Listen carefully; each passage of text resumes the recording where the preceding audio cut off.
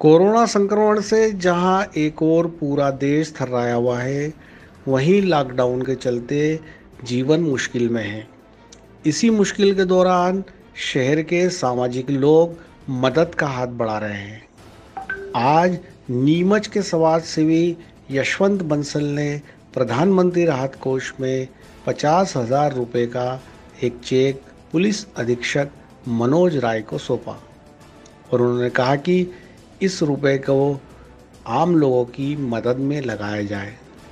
वहीं दूसरी तरफ़, अग्रवाल पंचायत भवन ने अपने 20 कमरे पुलिस कर्मियों के ठहरने के लिए दिए।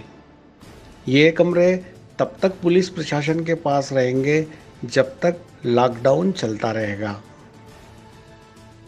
इक्यावन हज़ार का जो चेक दिया है, हमारी अग्रवाल पंचायत भवन समिति की तरफ़ से दिया है हमने।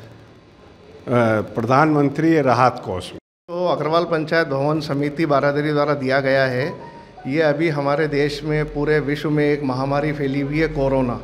और ये जो महामारी है, ये पूरी मानव जाति के लिए खतरा बनी हुई है। तो हमें लगा कि हमें इस लड़ाई में, जंग में, हमें इसमें पूरा हमारा जो भी हम योगदान दे सकते हैं, वो देना चाहिए। यानी ये वक्त अभी चुप बैठने का, घर बैठने का या अपना हाथ बचाने का नहीं है। जितना हो सके, अगर कोई आदमी दस रुपये देना चाहे, एक हज़ार देना चाहे, वो दे। नीलेश बंसल जी जो यहाँ के व्यवसायी हैं, उनके द्वारा मुझे बताया गया कि प्रधानमंत्री रिलीफ फंड में वो अपने परिवार की ओर से इक्यावन हज़ार रुपये का चेक देना चाह रहे हैं। आज अभी कार्यालय मेरे आए और उन्होंने एक चेक दिया है, इक्यावन हज़ार का कोरोना वायरस से देश को लड़ने के लिए जिन आवश्यकताओं की ज़रूरत है, आज उन्होंने स्वेच्छा से चेक दिया है, उनकी मैं बहुत प्रशंसा करता हूँ। साथ ही उनके द्वारा जो अग्रवाल समाज की धर्मशाला है, जिसमें 20 कमरे हैं, स्वेच्छा से उसको भी उन्होंने पुलिस के अधिकारी, कर्मचारी जो ड्यूटीरत हैं, उनको अगर वहाँ पर रुकने की कोई आवश्यकता हो तो उसके लिए उन्होंने दिया है।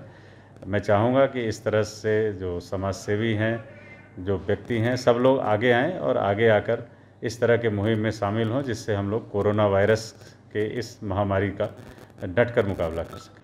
वॉइस ऑफ़ एमपी के लिए मुश्ताक अली शाह की रिपोर्ट।